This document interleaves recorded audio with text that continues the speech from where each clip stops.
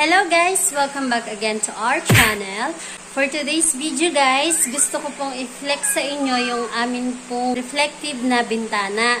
So, ipapakita ko sa inyo guys yun pong advantage kung bakit po reflective glass ang amin pong piniling bintana kaysa po sa ordinary.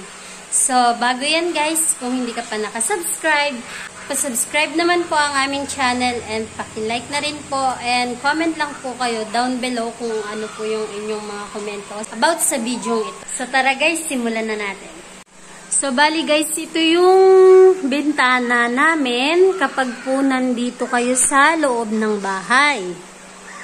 And then, bukas po guys yung aming ilaw. So, maybe kita po tayo niyan sa labas. Try po nating lumabas, guys. So, ito guys yung labas niya kapag po bukas yung ilaw. Ayan.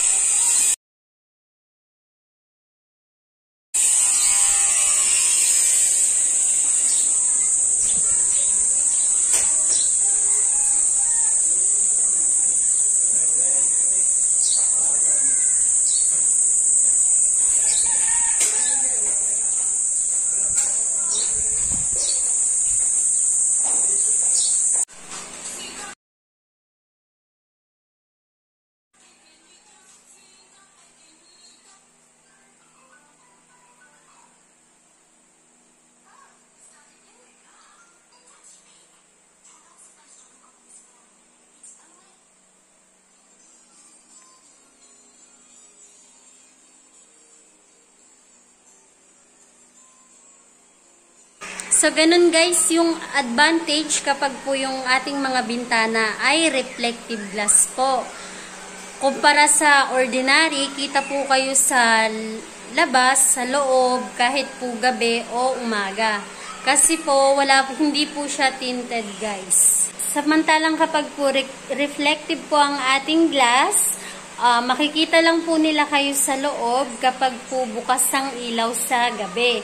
Pero kapag po umaga, katulad nito, lumabas po tayo kanina, hindi po tayo kita sa, hindi po natin kita yung nasa loob, kahit po bukas yung ilaw, kasi po matindi yung sikat ng araw. So, ganun po guys yung kagandahan ng reflective glass sa atin pong mga bintana. So, kaya guys, yung pong mga nag-iisip dyan, kung ano po yung magandang gamitin na glass sa atin pong mga bintana, piliin nyo po guys yun pong reflective para po meron kayong privacy. Yun lang po. Salamat po sa pagnood. So, I hope guys may na ibigay po akong kaalaman dyan sa mga gusto pong magpagawa ng bintana. Kung nagustuhan niyo po ang video ito, please subscribe to our channel and pakilike na rin po ang video ito. And comment lang po kayo sa baba kung ano po yung gusto nyong gawin pa naming video or may mga katanungan po kayong gusto namin sagutin. Salamat po! subscribe!